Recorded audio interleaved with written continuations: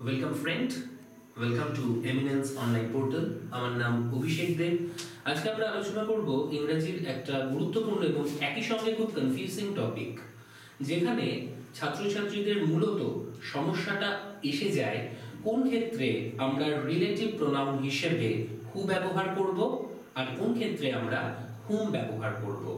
কিন্তু এই টপিকে আসার আগে আমি তোমাদের কাছে একটা ছোট্ট মেসেজ দেব বা আমাদের এমিনেন্স ইনস্টিটিউশনের আপডেটও বলতে পারো, যে আমরা প্রথম, এই প্রথমবার এমিনেন্সের পক্ষ থেকে একটা ক্র্যাশ কোর্স চালু করা হচ্ছে, যেটা মূলত ইকোনমিক্সের ওপর। এই ইকোনমিক্স সাবজেক্টটা তোমাদের পড়াবেন, আমাদের এমিনেন্সের খুব পুরনো টিচার এমনকি এমিনেন্স জবে থেকে শুরু, আমি জবে থেকে আছি, সায়নদীপ স্যার তবে থেকেই রয়েছে। এই কোর্সটার বিশেষত্ব হচ্ছে যে মোট আঠেরো দিন ক্লাস নেওয়া হবে এবং এই আঠেরো দিনে পুরো ইকোনমিক্সের গোটা সিলেবাস তোমাকে কমপ্লিট করে দেওয়া হবে। মূলত এর ফোকাস ডব্লিউবিসিএস মেইনস তাকে লক্ষ্য করে করা হলেও এর সাথে সাথে অন্য যে সমস্ত পিএসসি বা এসএসসি এর পরীক্ষা রয়েছে, তার অলমোস্ট নাইনটি পার্সেন্ট কভার করবে। এবং যেভাবে পড়ানো হবে, আশা করি তার বাইরে কোনো কোশ্চেন আসবে না। হ্যাঁ এখানে একটু বলাটা বাড়াবাড়ি হয়ে গেল। কিছুই যে বাইরে আসবে না, তা নয়। হয়তো ওই দশ পনেরোটা কোশ্চেন বাইরে থেকেই আসবে। সেটা যেমন তুমিও পারবে না, বাকিরাও পারবে না। এই কোর্সটা ফ্রেম করা হয়েছে মোটামুটি সোম মঙ্গল এবং বৃহস্পতিবার। সপ্তাহে তিন দিন পড়ানো হবে বিকেলের দিকে। ডেটটা এদিক ওদিক হতে পারে, সবার সাথে কথা বলে এবং স্যারের টাইম অনুসারে। এর জন্য আমরা যে ফিসটা ধার্য করেছি, সেটা হচ্ছে দু হাজার টাকা। এই দু হাজার টাকাটা প্রথম দিনই তোমাকে দিতে হবে না। একটা বা দুটো ডেমো ক্লাস করার পর যদি তুমি মনে করো, তাহলেই তুমি ক্লাসটা কন্টিনিউ করতে পারো। অর্থাৎ গোটা এক বছর ধরে সিলেবাস যেটা তোমরা শেষ করতে, সেই গোটা সিলেবাসটাই শেষ করা হবে মাত্র দু মাসে। এবং এর সাথে সাথে আমাদের পুরো প্রিন্টেড মেটেরিয়াল তোমাদেরকে দিয়ে দেয়া হবে সফট কপি বা হার্ড কপি হার্ড কপির ক্ষেত্রে জেরক্সটা কিন্তু তোমাদেরকেই করে নিতে হবে। তো আসা যাক, আমরা আজকের যে টপিক আলোচনা করছি, সেখানে দেখো আমরা মোট চারখানা বা পাঁচখানা সেন্টেন্স বেছে নিয়েছি। এবার, এই ধরনের সেন্টেন্স থাকলে কোথায় হু হবে, কোথায় হুম হবে, এটা নিয়ে স্টুডেন্টরা অনেক সময় বিভ্রান্ত হয়ে যায়। ধরো, প্রথম সেন্টেন্সটা দেখে আমরা বুঝতেই পারছি they welcome the guest who was a teacher এটা নিয়ে কারোর খুব একটা সমস্যা হবে না। কিন্তু যখনই আমরা বলব he identified the lady I think had been crying এখানে হু হবে নাকি হুম হবে, এই জায়গাটা কিন্তু আমাদের কনফিউশন ইংরেজিতে তিনখানা মেথড হয়। একটা তো ধরো, আমরা প্রথাগত হোমিওপ্যাথিক মেথড তুমি সব কিছু সেন্টেন্সটা দেখছ, তুমি আন্দাজ লাগাচ্ছ, মনে হচ্ছে অর্থ অনুযায়ী এটা হতে পারে। সেই টেকনিকটা তোমরা অলরেডি একবার ইউজ করে ফেলেছো। দেখছ, তাতে হয়তো অ্যান্সার হচ্ছে না। দ্বিতীয় একটা পদ্ধতি আছে, যেটা হচ্ছে অ্যালোপ্যাথি অর্থাৎ অ্যালোপ্যাথিকের ক্ষেত্রে তোমার হবে, তুমি বুঝতে পারবে কনসেপচুয়ালি এর অ্যান্সার কি হবে। But it will take at least 40 to 50 seconds কিন্তু আমি লাস্টে তোমাদেরকে একটা মেথড বলব, যেটা হচ্ছে ধরতক্তা মার্ট্রিক মানে অ্যান্টিবায়োটিক বলা চলে। সেক্ষেত্রে তোমাকে অত কিছু বুঝতে হবে না। তার মানে এটা নয় পুরোটা তুমি আন্দাজে দিচ্ছ, তার পেছনেও একটা রিজন আছে, আমি ছোট করে আলোচনা করে দেব। দেখো, এখানে যে সেন্টেন্সটা বলেছে they welcome the guest dash was a teacher এই সেন্টেন্সটার মধ্যে দুটো সেন্টেন্স লুকিয়ে রয়েছে। কি কি? এক নম্বর সেন্টেন্স হচ্ছে দে ওয়েলকাম দ্য গেস্ট এক নম্বর। আর দু নম্বর সেন্টেন্স হচ্ছে হি ওয়াজ আ টিচার তার মানে এখানে আমি যে শব্দটা লিখব, সেটা কোন শব্দের পরিবর্তে লিখছি? আমরা হি শব্দটার পরিবর্তে লিখছি। আমরা জানি হি শব্দটা হচ্ছে সাবজেক্টিভ কেস এবং একই রকম ভাবে সাবজেক্টিভ কেস হচ্ছে তোমার হু শব্দটা। এক্ষেত্রে হিকে যদি রিপ্রেজেন্ট করতে হয় মানে তার পরিবর্তে যদি রিপ্লেস করতে হয়, সেক্ষেত্রে আমার উত্তর আসবে হচ্ছে হু চলে আসি পরের সেন্টেন্সে কি বলা হচ্ছে? হি আইডেন্টিফাইড দ্য লেডি এটা ধরো একটা sentence he identified the lady তাহলে পরের সেন্টেন্স কি বলছে? পরের সেন্টেন্স বলছে I think had been crying কাঁদছেটা কে? লেডিটাই তো কাঁদছে।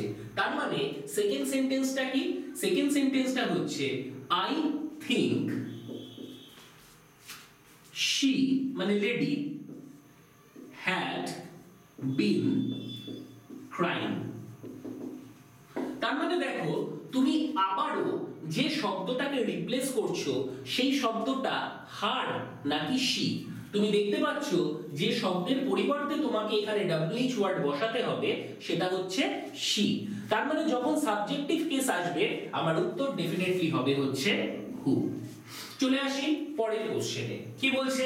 She has given the money to him dash we found is very poor আমরা প্রথমে উপরের জায়গাটাকে একটু ক্লিয়ার করে নিই। আমরা এটা বুঝতে পারছি যে ফার্স্ট যে সেন্টেন্সটা রয়েছে, সেটা হচ্ছে she has given the money to him এটা হচ্ছে আমার ফার্স্ট সেন্টেন্স আমরা যদি সেকেন্ড সেন্টেন্সটায় আসি, তাহলে কি পাবো? We found dash is poor তাহলে কে পোর যাকে টাকাটা দিয়েছে, সেই পোর তাকেই তো দিয়েছে যে গরিব। তাহলে সেকেন্ড সেন্টেন্সটাকে আমরা যদি পুরোটা লিখি, আমরা কি পাবো? আমরা পাবো উই ফাউন্ড উই ফাউন্ড হিমটা এখানে সাবজেক্টিভ কেস হয়ে যাবে হি ইজ ভেরি পুয়ার অর্থাৎ, এইখানে আমি কোন শব্দটাকে বসাচ্ছি? হিম শব্দ না হি শব্দটা? যেহেতু এটা হি মানে সাবজেক্টিভ কেস তাহলে সাবজেক্টিভের উত্তর সবসময় হু আর হুমের মধ্যে কোনটা হবে? হু হবে। তোমাদের অনেকের মনে হতে পারে যে এক্ষেত্রে উত্তরটা হুম হতো। হুম হতো না, তোমার অ্যান্সার হবে হচ্ছে হু। তার মানে যখন তুমি হি, শি, এই জাতীয় শব্দগুলো, আই, এই শব্দগুলোকে রিপ্লেস করবে সাবজেক্টকে রিপ্লেস করবে, তোমার উত্তর হবে হচ্ছে রিলেটিভ প্রোনাউনের ক্ষেত্রে হু। চলে আসি পরের সেন্টেন্সে বলছে I know them dash we have rejected in the process তাহলে আমার ফার্স্ট সেন্টেন্স কি পাচ্ছি? আমরা ফার্স্ট সেন্টেন্স পাচ্ছি আই নো দেম এটা আমার ফার্স্ট সেন্টেন্স সেকেন্ড সেন্টেন্স কি হবে? We have rejected in the process কাকে? যাকে বা যাদেরকে আমি চিনি, তাদেরকেই তো রিজেক্ট করা হয়েছে। তাহলে এই সেন্টেন্সটাকে আমরা যদি পুরো লিখি, আমরা কি পাবো? আমরা পাবো first sentence I know them এবং দু নম্বর উই হ্যাভ রিজেক্টেড তাদেরকে তাদেরকে তো? দেম ইন দা প্রসেস এইবার লক্ষ্য করো, এই যে ড্যাশের জায়গাটা রয়েছে, এই ড্যাশের জায়গাটায় আমি কোন শব্দের পরিবর্ত শব্দ লিখছি? দেখতে পাচ্ছ, তোমরা দেম শব্দের পরিবর্ত শব্দটা লিখছি। আমরা জানি দেম হচ্ছে অবজেক্টিভ কেস এখানে যদি দেনের পরিবর্তে আমরা দে শব্দটাকে রিপ্লেস করতাম, আমার উত্তর হতো হু কিন্তু যেহেতু দেম হচ্ছে অবজেক্টিভ কেস আমার অবজেক্টিভ কেসকে যদি রিপ্লেস করতে হয় কোনো রিলেটিভ প্রোনাউন দিয়ে, তাহলে সেক্ষেত্রে আমার উত্তর হবে হুম এখানে যদি কোনো দের সাবস্টিটিউট হতো, আমরা হু লিখতাম, যেহেতু এটা দেমের সাবস্টিটিউট মানে অবজেক্টিভ কেসের সাবস্টিটিউট তাই আমরা হুম লিখছি। পরের কোশ্চেন রাখি স্কোল্ডেড হিম রাখি তাকে বকেছে। Tarun felt nobody can trust কাকে বিশ্বাস করতে পারে না? যাকে বকেছে, তাকেই তো লোকে বিশ্বাস করতে পারে না। তাহলে আমরা যদি এটাকে সেন্টেন্স ব্রেক করি, আমরা তাহলে কি পাবো? আমরা পাবো হচ্ছে first sentence Rakhi scolded him এটা এক নম্বর সেন্টেন্স আর দু নম্বর সেন্টেন্স পাবো Tarun felt nobody can trust কাকে? এই হিমকেই তো, যাকে বকেছে তাকেই তো। তাহলে এখানে দেখো, কোন শব্দটাকে তুমি রিপ্লেস করছ? হিম শব্দটা। যদি এটা হিয়ের রিপ্লেসমেন্ট হতো, যদি এটা হিয়ের রিপ্লেসমেন্ট হতো, তোমরা ঠিকই ধরেছো, আমরা তাহলে লিখতাম হচ্ছে হু যেহেতু এটা হিমের রিপ্লেসমেন্ট তাই জন্য অবজেক্টিভ কেসের রিপ্লেসমেন্টে আমরা রিলেটিভ প্রোনাউন লিখব হচ্ছে হুম এইটা হচ্ছে আমার মেথড শর্টকাট নয়। এটা আমরা যেটা শিখলাম কনসেপচুয়াল এবার আমরা দেখব একদম অ্যান্টিবায়োটিক কি আছে। মানে আমরা দেখেই অ্যান্সার করতে পারব। একটা লজিক খুব ভালোভাবে ভেবে দেখো। একটা সেন্টেন্সে একটা সাবজেক্ট থাকবে, একটা ভার্ব থাকবে। তোমরা কি করবে? তোমরা শুধুমাত্র সাবজেক্ট আর ভার্বের সংখ্যা গুনবে। আমি রিপিট করছি, ধরো, আমার সেন্টেন্সে দেয়া রয়েছে সাবজেক্ট আর ভার্ব যদি দেখো, কোন সেন্টেন্সে সাবজেক্ট রয়েছে দুটো, কটা রয়েছে? দুটো। এবং তার সঙ্গে সঙ্গে ভার্বও রয়েছে দুটো, কটা রয়েছে ভার্ব দুটো রয়েছে। তখন আমার উত্তর সবসময় হুম হবে। যখন সাবজেক্ট এবং ভার্বের সংখ্যা সমান হবে, তখন হু আমার উত্তর হবে না। আমার উত্তর হবে হচ্ছে হুম কিন্তু যদি কোনো কারণে দেখো যে ভার্বের সংখ্যা রয়েছে বেশি মানে তিনি যে থাকতে হবে এরকম কোনো কথা নেই। ধরো ভার্বের সংখ্যা রয়েছে তিনটে এবং সাবজেক্টের সংখ্যা রয়েছে দুটো। কিংবা ভার্বের সংখ্যা রয়েছে চারটে সাবজেক্টের সংখ্যা রয়েছে তিনটে। এইরকম ক্ষেত্রে তোমার উত্তর হবে হচ্ছে হু আমি রিপিট করছি, কারণ মনে হতে পারে একটা আন্তাবলি কিছু বলে দিচ্ছি, মজার ব্যাপার না। এর পেছনে একশো শতাংশ কনসেপ্ট আছে, যেটা বলব, বলার পর নিজেরা একবার ট্যালি করে দেখে নিও। কি বললাম? সাবজেক্টের সংখ্যা এবং ভার্বের সংখ্যা সমান হলে উত্তর হবে হচ্ছে তোমার হুম আর যদি সাবজেক্টের সংখ্যা ভার্বের থেকে কম থাকে, তাহলে তোমার উত্তর হবে হু লজিকটা এবার বোঝো। দেখো, কোনো গ্রামে যদি একশো জন বিবাহিত পুরুষ থাকে, তাহলে আমরা ধরেই নিতে পারি ওই গ্রামে একশো জন বিবাহিত মহিলা রয়েছে হ্যাঁ তোমরা আবার মজা করে বলতে পারো যে, স্যার, কেউ যদি বহু বিবাহ করে বা কেউ যদি অলরেডি টপকে গিয়ে থাকে, সেই বিষয়গুলো আলাদা। আমরা মানে ইংরেজির ক্ষেত্রেও তো জানো if there are hundred rules there are three hundred exceptions or fluctuation আমরা নর্মালি ভেবে নিলাম, বরের সংখ্যা যা হবে, সবাই যদি একটা করে বিয়ে করে, তাহলে বউয়ের সংখ্যাও তাই হবে। লজিক তো তাই বলছে। এবার ভেবে দেখো, কোন সেন্টেন্সে যদি একটা সাবজেক্ট থাকে, তার জন্য একটা ভার্ব থাকে। কোন সেন্টেন্সে যদি দুটো সাবজেক্ট থাকে, তাহলে ভার্বও থাকবে দুটো। একই রকম ভাবে কোন সেন্টেন্সে যদি তিনটে সাবজেক্ট থাকে, তোমার ভার্বও থাকবে তিনটে। এইবার দেখলে যে কোন সেন্টেন্সে রয়েছে হচ্ছে তিনখানা ভার্ব দুখানা সাবজেক্ট তাহলে সাবজেক্ট কখানা কম রয়েছে? তিনখানা ভার্ব রয়েছে, তিনটে সাবজেক্ট থাকার কথা, রয়েছে দুটো সাবজেক্ট তার মানে তোমার সাবজেক্ট কম রয়েছে একখানা। এবার আমাকে বলো তো হু আর হুমের মধ্যে কোন শব্দটা সাবজেক্ট হিসেবে ব্যবহৃত হতে পারবে? ডেফিনেটলি হু শব্দটা। কারণ হু শব্দটা সাবজেক্টকে রিপ্লেস করে বা সাবজেক্ট হিসেবেও বসতে পারে। তাই জন্য এক্ষেত্রে আমার উত্তর হবে হু এবার কোনো ক্ষেত্রে তুমি দেখছ সেন্টেন্সে সাবজেক্টও রয়েছে, তিনটে ভার্বও রয়েছে তিনটে। তার মানে সাবজেক্টের সংখ্যা এবং ভার্বের সংখ্যা ইকুয়াল তার মানে দুটোই তো সমান। তোমার কি এক্সট্রা কোনো সাবজেক্ট দরকার? না। সেক্ষেত্রে তুমি যদি হু বসাও, তাহলে একখানা সাবজেক্ট বেড়ে যাচ্ছে। যে সাবজেক্টের জন্য তুমি এক্সট্রা কোনো ভার্বকে সাপ্লাই করতে পারবে না। এক্ষেত্রে প্রসঙ্গত একটা কথা উল্লেখ করে রাখি। যদি দুটো শব্দ এন্ড দিয়ে যুক্ত থাকে, তাকে তুমি একটাই সাবজেক্ট ধরবে। দেখা যাক বিষয়টা কি। দেখো, এক্ষেত্রে ডেটা হচ্ছে সাবজেক্ট ওয়ান তার জন্য আমার ভার্ব থাকল ওয়েলকাম তার মানে এই সাবজেক্টের একটা সাবজেক্ট পেলাম, একটা ভার্ব পেলাম। এখানে হু হবে, কি হুম হবে, আমি জানি না। এখানে ওয়াজ হচ্ছে আরেকটা ভার্ব ভার্ব এখানে অলরেডি একটা লিখে ফেলেছি ভি ওয়ান তাহলে এটাকে আমি লিখলাম হচ্ছে ভি টু ভি টু মানে কিন্তু সেকেন্ড ভার্ব বলছি মানে ওই প্রেজেন্ট পাস্ট পাস্ট পার্টিসিপল ওটাকেও আমরা V one V two V three বলি, সেটা না। এটা হচ্ছে এক নম্বর ভার্ব এটা হচ্ছে দু নম্বর ভার্ব তাহলে লক্ষ্য করো, এই সেন্টেন্সে সাবজেক্ট কটা রয়েছে? দুটো রয়েছে। সরি এই সেন্টেন্সে সাবজেক্ট রয়েছে একটা ভার্ব রয়েছে দুটো। তার মানে ভার্বের থেকে সাবজেক্ট কটা কম রয়েছে? একটা কম রয়েছে। তার মানে তোমার কি দরকার? একটা সাবজেক্ট দরকার। সাবজেক্টের পরিবর্তন হিসেবে কে বসতে পারে? সাবজেক্ট হিসেবে হু বসতে পারে? তাই তোমার অ্যান্সার হু পরের সেন্টেন্স আসো। হি আমরা দেখিনি কখানা সাবজেক্ট আছে। হি হচ্ছে আমার subject one identify the lady lady হচ্ছে অবজেক্ট আমার সাবজেক্ট নয়। সেকেন্ড সাবজেক্ট কি পেলাম? এটা হচ্ছে আই এটা হচ্ছে সেকেন্ড সাবজেক্ট আর কোনো সাবজেক্ট নেই। এবার আমরা ভার্ব খুঁজবো। প্রথম ভার্ব কি পেলাম? আইডেন্টিফাইড সেকেন্ড ভার্ব কি পেলাম? থিঙ্ক আর তিন নম্বর ভার্ব কি পেলাম? হ্যাড বিন ক্রাইং মানে এটা হচ্ছে আমার ভি3 থার্ড ভার্ব এখানে হেল্পিং ভার্বকে কিন্তু আলাদা করে কাউন্ট করবে না। আমি শুধুমাত্র মেইন ভার্বের কথা বলেছি। তাহলে লক্ষ্য করো সাবজেক্ট রয়েছে একটা দুটো। ভার্ব রয়েছে একটা, দুটো, তিনটে। তাহলে তোমার কটা সাবজেক্ট কম রয়েছে? একটা সাবজেক্ট কম রয়েছে। তাহলে একটা সাবজেক্ট হিসেবে কে বুঝতে পারে? সেই সাবজেক্টের অভাব কে পূরণ করতে পারে?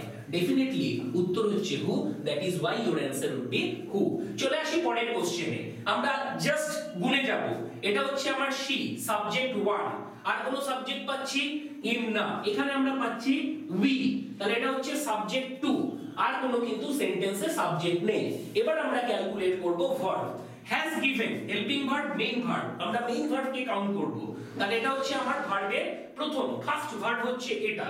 সেকেন্ড ভার্ব আমরা পাচ্ছি হচ্ছে ফাউন্ড তাহলে এটা হচ্ছে আমার সেকেন্ড ভার্ব আর তিন নম্বর ভার্ব কি পাচ্ছি? সেটা হচ্ছে ইজ লক্ষ্য করো ফাউন্ড ইজ মানে ইজ কিন্তু সবসময় হেল্পিং ভার্ব নয়। ডিপেন্ড করবে যে সেন্টেন্সে সেটা কোন প্লেসে বা কোন অর্থে ব্যবহৃত হয়েছে, এখানে ইজটা কিন্তু তোমার লিঙ্কিং ভার্ব আমরা এখন সেই জটিলতার মধ্যে যাব না। আমরা বুঝতেই পারছি ফাউন্ড হচ্ছে একটা ভার্ব ইজ হচ্ছে আরেকটা ভার্ব কিন্তু যদি ইজ ফাউন্ড থাকতো, তখন ইজকে আমরা হেল্পিং ভার্ব ধরতাম আর ফাউন্ডকে মেইন ভার্ব ধরতাম। দুটো মিলে একটাকে কাউন্ট করতাম? এবার লক্ষ্য করো সাবজেক্ট কটা রয়েছে? একটা, দুটো। ভার্ব কটা রয়েছে একটা দুটো তিনটে তার মানে সাবজেক্ট কটা কম রয়েছে, একখানা সাবজেক্টের অভাব। সেই সাবজেক্টের অভাব কে পূরণ করতে পারবে? হু আর হুমের মধ্যে? ডেফিনেটলি উত্তর হচ্ছে হু চলে আসি পরের কোশ্চেনে আই এটা হচ্ছে আমার এক নম্বর সাবজেক্ট নো দেম উই এটা হচ্ছে আমার সেকেন্ড সাবজেক্ট তিন নম্বর হচ্ছে, আমি তৃতীয় আর কোনো সাবজেক্ট পাচ্ছি না। এবার আমি গুনবো হচ্ছে ভার্ব কটা রয়েছে। নো হচ্ছে একটা ভার্ব সেকেন্ড হচ্ছে হ্যাভ রিজেক্টেড দুটো নয়, একটা ভার্ব কারণ এটা হেল্পিং ভার্ব এটা মেইন ভার্ব তাহলে এটা হচ্ছে আমার সেকেন্ড ভার্ব তার মানে সিচুয়েশনটা কি এলো বাবা? সিচুয়েশনটা এরকম এলো, এই সেন্টেন্সে সাবজেক্টের সংখ্যা এবং ভার্বের সংখ্যা সমান হয়ে দাঁড়াচ্ছে। তার মানে তুমি যদি ওকে একটা এক্সট্রা হু সাপ্লাই করো দ্যাট মিন্স তুমি ওকে একটা এক্সট্রা সাবজেক্ট সাপ্লাই করছ। কিন্তু সেই এক্সট্রা সাবজেক্টের জন্য এক্সট্রা ভার্বকে তুমি কি সাপ্লাই করতে পারবে? পারবে না। কন্ডিশন আমায় কি বলছে? কন্ডিশন বলছে number of subject R number of verb is equal যখন দুটো ইকুয়াল হবে, তখন তার উত্তর হচ্ছে হোম এটা তো মানে শর্টকাট হলো, কিন্তু লজিকটা বেশি ইম্পর্টেন্ট কারণ সংখ্যার দিক থেকে সাবজেক্ট এবং ভার্বের সংখ্যা সেম হবে। তার মানে সাবজেক্ট এবং ভার্বের সংখ্যা যেহেতু ইকুয়াল আছে এক্ষেত্রে, তাই আমি এক্সট্রা সাবজেক্ট নয়, বরং অবজেক্টিভ কেস হুম ব্যবহার করব। চলে আসি পরের সেন্টেন্সে রাখি। রাখি হচ্ছে আমার সাবজেক্ট ওয়ান হিম হুম তরুণ তরুণ হচ্ছে আমার second subject Tarun felt nobody can trust nobody হচ্ছে আমার সাবজেক্ট থ্রি তাহলে আমি কটা সাবজেক্ট পেলাম? আমরা তিনটে সাবজেক্ট পেলাম। এবার দেখো, আমি যদি ভার্ব দুটো পাই সরি আমি যদি ভার্ব চারটে পাই, তাহলে একটা সাবজেক্ট কম হবে। তখন আমি হু ব্যবহার করব। আর আমি যদি সমসংখ্যক, অর্থাৎ তিনটেই ভার্ব পাই, তাহলে আমার আর এক্সট্রা সাবজেক্ট দরকার হবে না। তখন আমি হুম ব্যবহার করব। তাহলে দেখা যাক, এটা হচ্ছে আমার ফার্স্ট ভার্ব সেকেন্ড ভার্ব আমি কি পাচ্ছি? এটা হচ্ছে আমার ভার্ব টু আর তিন নম্বর ভার্ব আমরা কি পাচ্ছি? এই ক্যান ট্রাস্ট এটা হচ্ছে আমার তিন নম্বর ভার্ব আমি পাচ্ছি। তার মানে এই সেন্টেন্সেও দেখো, তোমার সাবজেক্টের সংখ্যা এবং ভার্বের সংখ্যা ইকুয়াল এবং যেহেতু ইকুয়াল তাই জন্য আমি যদি এক্সট্রা হু ব্যবহার করি, সেক্ষেত্রে কিন্তু আমায় আবার একটা এক্সট্রা ভার্ব কোনো জায়গা থেকে নিয়ে আসতে হবে। এবার নাম তো ওটার ভার্ব আলু, পটল, পেঁয়াজ না যে বাজার থেকে কিনে এনে দেব। তাই জন্য এক্ষেত্রে আমার হু নয়, বরঞ্চ আমার অ্যান্সার হুম হবে। আমি প্রথমে এই নিয়মটা বলতে পারতাম, কিন্তু এটার থেকে আগের যে নিয়মটা ছিল, সেটাই হচ্ছে বেসিক অর্থাৎ তুমি যখন সাবজেক্টকে রিপ্লেস করছ, তোমার উত্তর হচ্ছে হু, আর তুমি যখন অবজেক্টকে রিপ্লেস করছ, তখন তোমার উত্তর হচ্ছে হুম। এই জিনিসটাই আমাদেরকে মাথায় রাখতে হবে, আর ছোট করে সাবজেক্টের সংখ্যা আর ভার্বের সংখ্যা সমান যদি হয় মানে সেন্টেন্সের স্ট্রাকচার যা, তখন আমার এক্সট্রা সাবজেক্ট লাগবে না, তাই হুম। কোনো ক্ষেত্রে যদি সাবজেক্ট কম থাকে, উত্তর আমার হু হবে। কারণ হুটা তখন সাবজেক্ট হিসেবে কাজ করবে। একটা ছোট্ট তথ্য দিয়ে রাখি ইম্পারেটিভ সেন্টেন্সের ক্ষেত্রে তোমার প্রথমে সাবজেক্ট থাকবে না। সেক্ষেত্রে কিন্তু এই দুটোর মধ্যে একটু গ্যাপ আরও বেশি হবে। মানে ধরো বলা হলো গো দেয়ার আমাকে বুঝতে হবে যে ওই সেন্টেন্সে একটা subject already understood you go there সেক্ষেত্রে তোমার ভার্বের থেকে সাবজেক্টের সংখ্যা এক নয়, বরং দুটো কম হবে। এবং কোনো ক্ষেত্রে যদি নাউন ক্লজ বা এরকম কিছু সেন্টেন্সের সাবজেক্ট হিসেবে কাজ করে, তখন কিন্তু এই নিয়মটার ক্ষেত্রে কিছুটা মিসম্যাচ করবে। নিয়মটা মিসম্যাচ করবে না। তোমাকে ক্লজটা বুঝতে হবে। সেটা নয় আমরা পরবর্তী কোনো একটা ভিডিওতে করব। আজকে এই পর্যন্ত থাক। ভালো থেকো, সঙ্গে থেকো। Thank you